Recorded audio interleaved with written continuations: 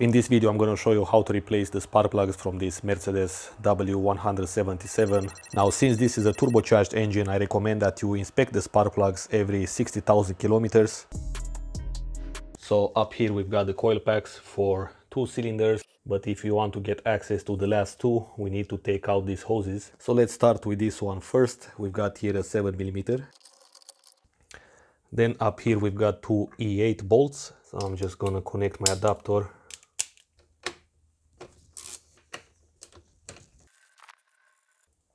these are out. Now if you look from this side we've got here some clips. We need to release this and pull out the hose just make sure that you don't break them. We got disconnected from here as well. We've got here a hose clamp but to get access to it we gotta unplug the connector from this air pressure sensor. You will need one of these picks because you need to unplug these small connectors around here now we get access to the hose clamp as you can see. I've got here my favorite hose clamp tool so let's catch it here. Make sure it's in straight position. This thing looks like it's stuck in here. Okay so I disconnect it first from here. We've got also this breather hose here. But this can be disconnected so it shouldn't be a problem Now I think I'm gonna leave this PCV hose here because I can work around it. So I'm gonna remove only this air delivery line. We've got here two E10 bolts. Okay, so we've got here a special hose clamp which can be released with your fingers.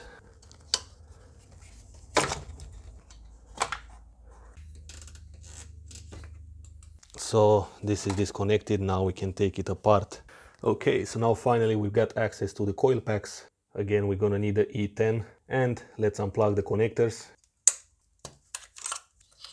The space is very limited, so you will definitely need this tool to do this job. Because now, for example, you need to release that clip and take out the connector. Okay, so let's remove the bolts now.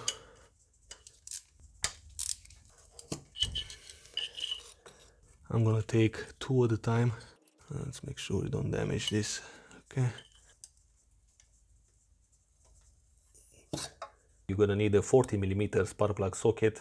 It doesn't have to be a 12 point like this one. And you can see it's gonna match here perfectly.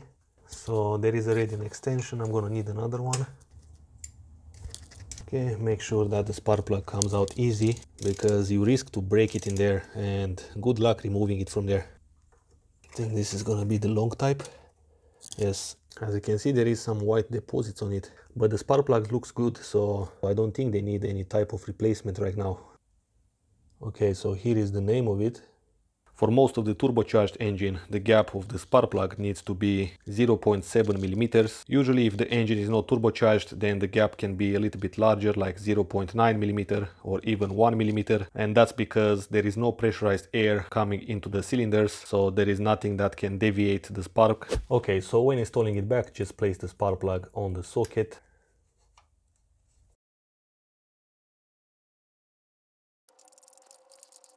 you should be able to tighten it by hand at least a couple of times. If you cannot do that, make sure that you clean the threads. There are some kits available.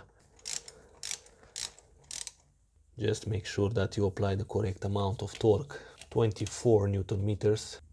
So let's press this on the plug. Okay, make sure it's aligned with the other two. That's one of the reasons I didn't remove all of them at the same time you can see it here. For example this one is going to be aligned with this one and with that one. And that way you know that the coil pack is all the way on the spark plug. It should match these holes here easy. So let's see this one.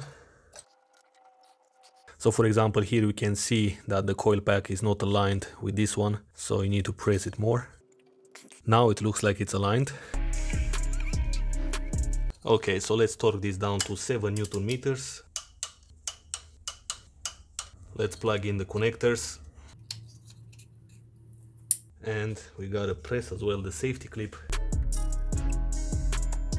so now we have to install everything back